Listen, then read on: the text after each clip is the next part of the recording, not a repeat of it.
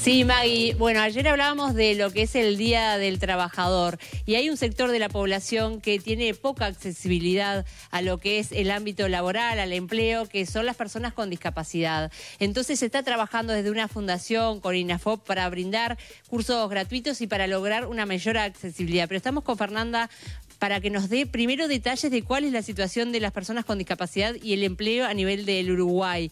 ¿Cómo es la situación? Buen día. Hola, buen día, ¿cómo están?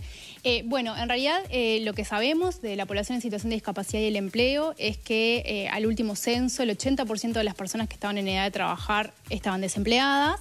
Entonces, bueno, a partir de eso es que este, nosotros hemos generado como distintas acciones para intentar incidir en esta brecha que también eh, a nivel de Estado han sucedido algunas cosas. Por ejemplo, tenemos dos leyes que establecen un sistema de cuotas para incentivar y favorecer el acceso al mercado laboral de las personas con discapacidad. ¿Se cumplen? Bueno, eh, en lo que tiene que ver con el ámbito público, eh, hay un seguimiento que lo hace la Oficina de Servicio Civil y que ha establecido que hemos llegado al 1,5, un poquito más por ciento del cumplimiento de la cuota, o sea, no hemos estado en el 4% todavía.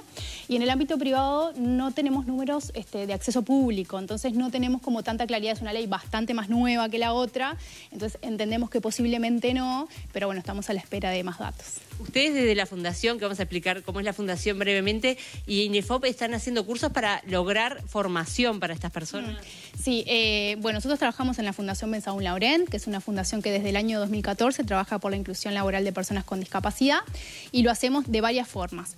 Dos de nuestros ejes este, principales tienen que ver con la inclusión laboral propiamente dicha. Trabajamos con personas que están buscando trabajo y ahí este, fortalecemos las habilidades para la empleabilidad, generamos como orientación y asesoramiento en el armado de currículum, tenemos una base de datos donde las personas se inscriben este, para la búsqueda laboral y con las empresas, ¿no? que ahí también asesoramos, orientamos y hacemos todo lo que tiene que ver con el proceso de selección, de evaluación de accesibilidad y acompañamiento a la persona una vez que accede al puesto laboral.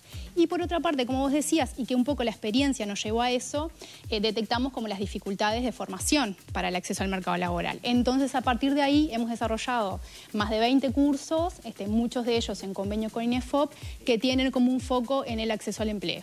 Gracias. No, por favor, a ustedes. Destacar que toda la información para poder ingresar a esos cursos está en la página de la Fundación y son cursos gratuitos para las personas con discapacidad. Vuelvo con ustedes.